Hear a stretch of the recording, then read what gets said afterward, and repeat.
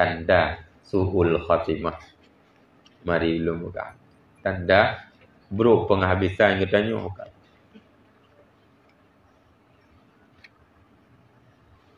Pertama, memudahkan sembahyang. Tak boleh lewat. Berkenaan dengan kewajiban salat, tak mudah aja. Pun tak mudah, hanya dah buat. Mengenteng atau meringankan perbuatan yang namanya salat fardu. Ini tanda su'ul khatimah. Artinya ketika kita merasakan na laganya menyangkut dengan salat fardu tak kebah tak biar-biarkan nyo kana tanda dan kita bisa merasakan bahawa nyo kana tanda bagi kita nyo untuk bro ujung maka hati-hati yang kedua minum arak jadi perkara minum arak perkara yang diharamkan dengan getanyo walaupun tak pegah tiga go sesekali tidak uh, hana hana lazim hana sabi-sabi nyan tanda getanyo bro pada penghabisan. Cekang lidah anda demi mengucap kalimah. Kemudian yang ketiga, durhaka dua ibu bapa. Yang katakanlah ketika kita merasakan gedanya orang yang durhaka kepada dua ibu bapa, ini salah sabuh tanda gedanya akan buruk pada penghabisan.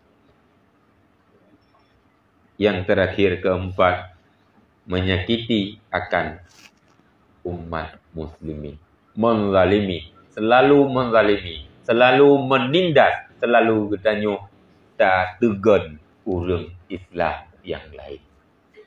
Dengan adanya empat perkara, salah satu barangkali nak bagi tanya, nyukana tanda. Karena bisa jadi hana Bandung.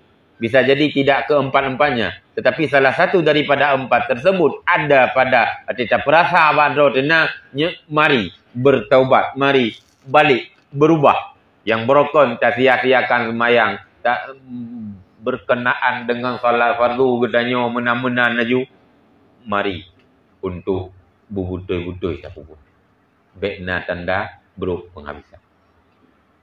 Juga ketika gedanya orang yang berbuat maksiat minum arak tinggalkan. Jangan ada alasan untuk tubuh dan berbagai macam alasan.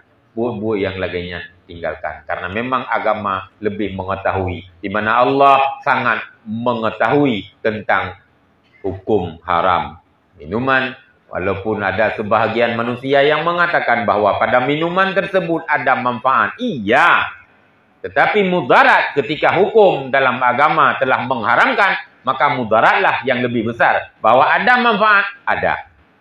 Tetapi mudaratnya melebihi dan tidak sebanding dengan manfaat yang ada padanya. Maka hukum haram tinggalkan.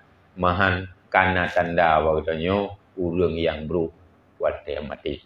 Kan buruk tumbuh. Suul khatimah.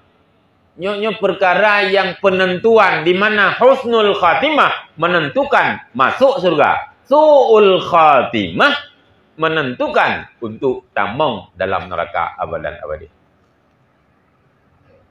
Jadi tinggal kepada kita yang masih hidupnya tapi pilih kita punyum-punyum kita merasakan pada diri masing bermasing adakah tanda-tanda tersebut maka jauhi Patikana dan perasaan tandanya puji oh.